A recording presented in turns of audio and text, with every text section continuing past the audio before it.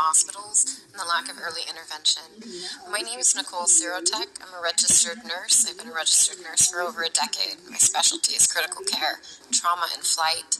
Um, since the start of the COVID pandemic, I've actually been rebranded, I guess you could say, as a leading expert in early intervention strategies executed on a large mass scale using the FLCCC protocol, as well as um, ventilator, uh, COVID patient ventilator protective strategies to optimize uh, COVID patients on the ventilators. My story actually begins back in May of 2020. I was one of the original nurses that went to NYC to help with the COVID pandemic because, as we remembered, they needed nurses. Most importantly, they needed ventilators. Well, I was the whole package, a flight nurse that can manage ventilators.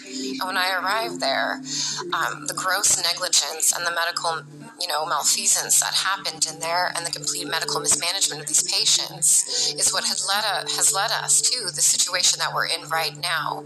The pandemic and the hysteria that was created from poor public health measures and poor execution of appropriate early intervention strategies and the handicapping of medical professionals doing their job has led to where we are right now and into the crisis situation that we are in. I will use several key case studies that will represent larger uh, descriptive statistical information for what I'm going to speak of. But when I was in New York, and what continues to happen today, is that many of them are not dying from COVID. Now, many people don't know about me is that I'm actually a master's prepared biochemist, and I have worked extensively with the HIV uh, virus, tracking uh, genetic mutations. So I feel very comfortable going toe to toe with some of these doctors here, although I am not a doctor, I'm just a nurse.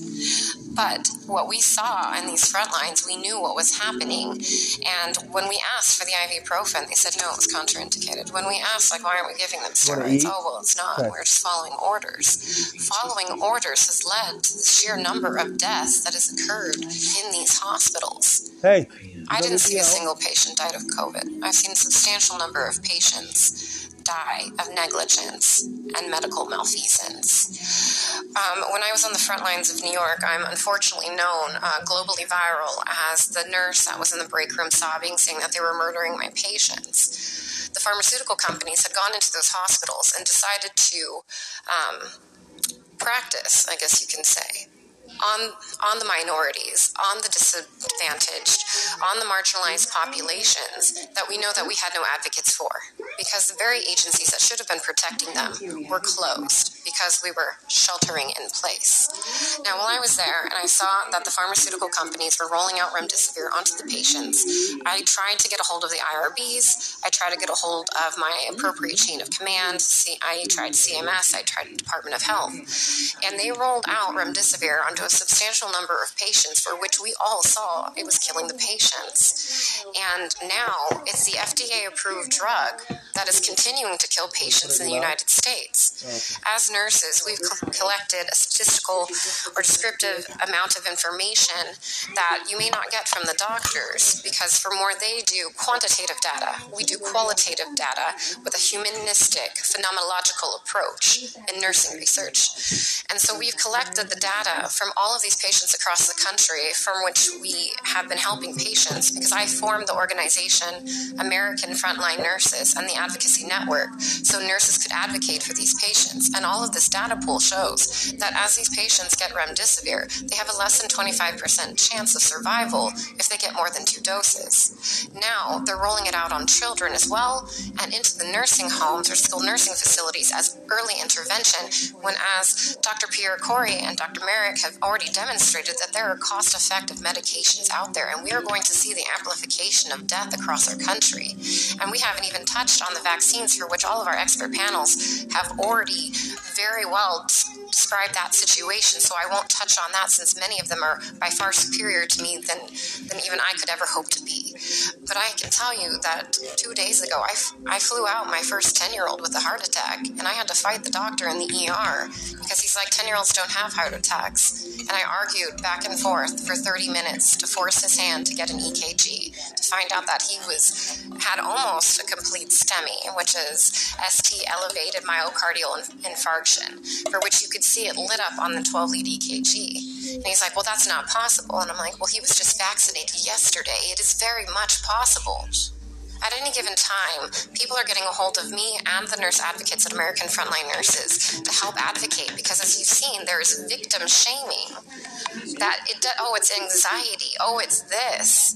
But in actuality, if they put down that it was a vaccine injury, the physician, the corporation, the hospital, the clinic, they actually won't get reimbursed. So it gets labeled as anxiety or neuropathy or Guillain-Barré syndrome when in actuality it's very realistically a vaccine injury. Now, I'm not, uh, even though I founded American Frontline Nurses, I've traveled extensively to South America, India, and South Africa working in hot zones, stopping the spread of the virus and working with early intervention.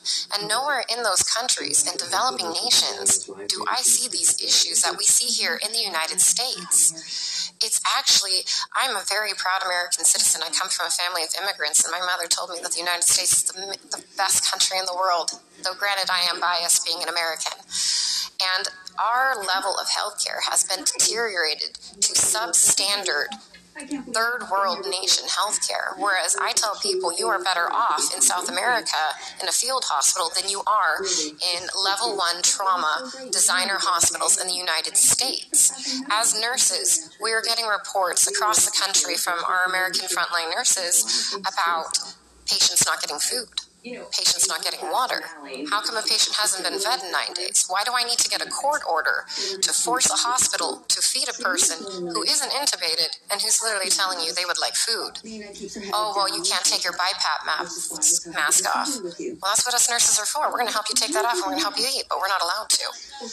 If you know, if they're on a ventilator, they're not getting basic standards of care. I've had patients that haven't been bathed, haven't been fed, haven't been given water, haven't been turned. And if you ask me, this isn't a hospital hospital. This is a concentration camp. Absolutely, it is. Nowhere in the United States do we isolate people for hundreds of hours at a time with no human contact. It's not even allowed in the prisons. You are not allowed to isolate a prisoner for beyond a certain sensitive amount of time because it is again it is horrible for their mental health and is considered inhumane. However, in these hospitals now, we're allowed to isolate patients from their families for days and you have to say goodbye to them over an iPhone as Jennifer Bridges has just demonstrated to us or she has to shuttle people in to see. And personally, I was fired for sneaking a Hispanic family in to say the last rites to their family. And so, thank you, Senator Johnson, for giving nurses the opportunity to come and represent our patients because, as you can see, we're not often thought of as uh, leading professionals, though we are the missing link between the doctors and the patients. So, thank you so much for this time.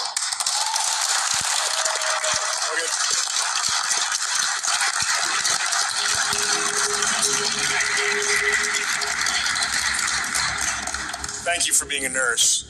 Um, so I'm hoping everybody that viewed this today recognizes the qualification qualifications of the individuals that spoke here today. Now,